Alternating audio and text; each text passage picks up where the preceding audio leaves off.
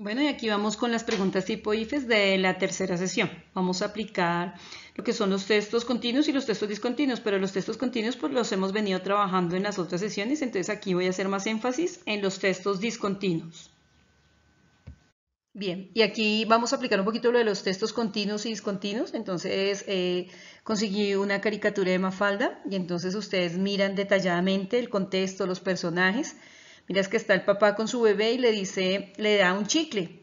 Y entonces le dice a la bebé, es para masticarlo, pero no hay que tragárselo. Pero está explicando desde el chicle y sale Mafalda atrás y le dice, ¿el discurso de quién? Y entonces el papá queda así como con una cara así como de asombro. Y entonces dice la pregunta, ¿cuál de las siguientes afirmaciones describe un supuesto implícito en el cómic? Un supuesto implícito. Ah, los discursos de los políticos son engañosos. Puede ser, porque la niña salió y dijo, ¿el discurso de quién? El papá le dijo, ¿es para masticarlo? No hay que tragárselo. Y Mafalda dice, ¿el discurso de quién? Entonces, inconscientemente, o sea, indirectamente se está haciendo referencia a que las cosas hay que saberlas escuchar y no tragárselas así de una. Puede ser, los discursos de los políticos son engañosos, sí, tiene relación. B, los chicles son malos para la salud de los niños. Mm, no se está haciendo tanto eso eh, con lo que dijo Mafalda. C. Los padres no entienden a sus hijos. No tiene relación. ¿Los discursos de los políticos son difíciles? No, no es que sean difíciles. Lo que pasa es que hay que saberlos analizar. Pero ahí en la viñeta eh, estamos haciendo referencia a la los discursos de los políticos son engañosos. Luego vienen dos preguntas más asociadas con la caricatura. Dice, la expresión en la cara del padre al oír la pregunta de Mafalda se debe a qué? O sea, la cara de asustado que hizo el papá. A. ¿Les gustó que Mafalda lo interrumpiera tan súbitamente? No, no es tanto eso, porque no hay una interrupción. Simplemente la niña hizo una participación. ¿No esperaban la interpretación que hizo Mafalda de sus palabras? Sí, claro, puede ser.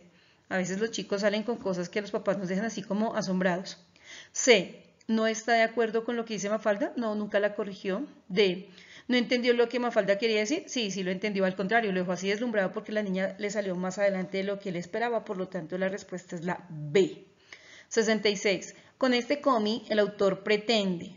¿Qué pretende el autor que hizo el cómic con esto? ¿Qué pretende? A. Mostrar la relación entre el comer chicle y los discursos de los políticos. No, fueron dos acciones y dos interpretaciones diferentes. B. Disuadir a las personas de escuchar los discursos de los políticos. ¿Disuadir? No, lo que pasa es que hay que ser reflexivos frente a lo que escuchamos. C. ¿Criticar la manera como los políticos hacen sus discursos? No, no es tanto criticar, sino saber escuchar para poder interpretar. D. Llamar la atención sobre cómo debemos tomar los discursos políticos. Eh, sí, puede ser, de que debemos saber escuchar, analizar, reflexionar, tomar lo que vemos que nos sirve y también hacer una crítica frente a lo que vemos que no aporta. Por lo tanto, la respuesta es la D. Bien, y aquí miramos una caricatura de Checho. Dice el señor, miren el contexto, es como una persona como un estrato bajo, está ahí como en una ciudad, miras a dónde está apoyado, miras la parte de atrás que es como la ciudad. Y entonces mira lo que dice. Dice, lo que ganan los parlamentarios se llaman dietas y con lo que gana el pueblo se hace dieta como un juego de palabras, ¿cierto? Entonces mira la pregunta. La idea planteada por Checho en su juego de palabras hace referencia a qué? A. Los parlamentarios se vuelven obesos porque sus recursos económicos son muy altos. Mm, pues no es tanto referencia a eso, ¿cierto? Porque no estamos hablando de la condición física. B.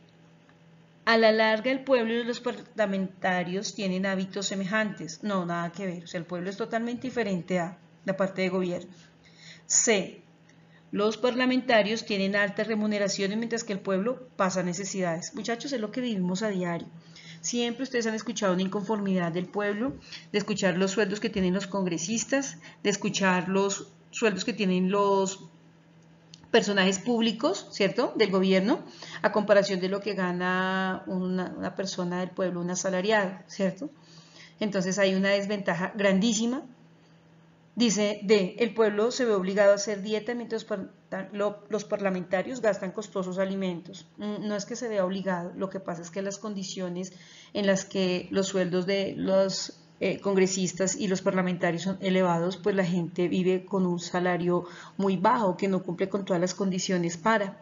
Por lo tanto, lo que quiere expresar ahí Checho es la C. que los parlamentarios tienen altas remuneraciones mientras que el pueblo pasa necesidades. Eso es una crítica que vemos a diario. La respuesta es la C. Bien, y aquí vemos una historieta de Calvin y Hobbes. Y entonces vemos que Calvin pone un negocio de limonadas y entonces viene Hobbes a hacer la primera compra. Y entonces dice, voy a comprar una limonada, pero ella se le hace costosísimo el precio que él pone, de 15, 15 dólares por una limonada. Y entonces pues Calvin empieza a justificar que él maneja una ley de oferta y demanda y que es eleccionista y que tiene que buscar beneficios de su inversión y que como él es el presidente de su empresa, entonces tiene que tener un salario exorbitante. Y entonces eh, dice que él es su propio empleado y justifica que él debe ser competitivo y que no hay garantías, porque ella le dice que si se llega a enfermar de consumir esta vía y él dice que no hay garantías, porque si cobrase eh, garantías, pues tendría que cobrar sanidad, entonces que sería más elevado el precio. Y entonces, pues, eh, ella pues se pone de mal genio, entonces dice que es muy costoso eso y que pues no. Y entonces él la insulta, le dice que gente así como ella, antisistema, pues es la que está arruinando la economía. Y entonces, pues viene la pregunta. Y dice, Calvin intenta justificar el alto precio de la limonada recurriendo a argumentos absurdos, pero consistentes. Mm, pues podría ser, porque es que eh, pues él está dando unos argumentos eh, muy egocéntricos, muy personales. B, un modelo económico fiel de la realidad. Mm, pues no es tanto fiel de la realidad porque está siendo un poco exagerado. C, una ley de mercado que no existe. Pues la ley de mercado se la inventó él porque él es el, él es el propietario, porque él es el dueño de la empresa, porque él es el beneficiario, porque es el único empleado. Su propia versión de la economía, sí, claro, ahí está siendo muy egocéntrico y muestra su propia versión. Por lo tanto, la respuesta es la D.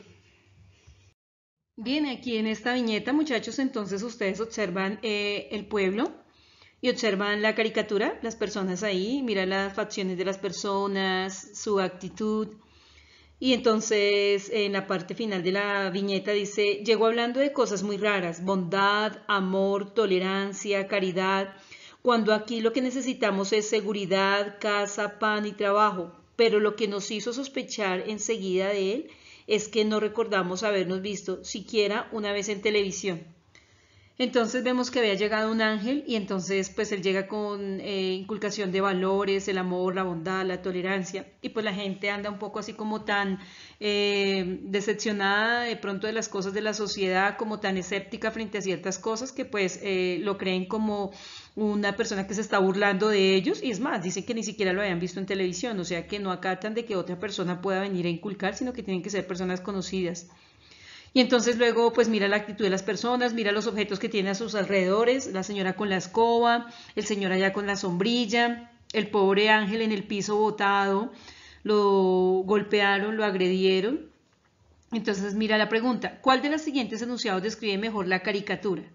A. El pueblo hace justicia por su propia mano.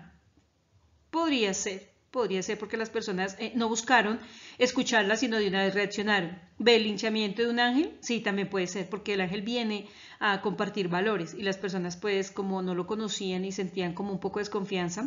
¿Se la entrevista con el asesino? No, no se hace referencia a eso. ¿Un ángel bajo el cielo? Sí, un ángel bajo el cielo, pero no solamente bajo el bajo a compartir un mensaje, es la actitud de las personas con el ángel, o sea, el linchamiento de un ángel. La respuesta, por lo tanto, es la B.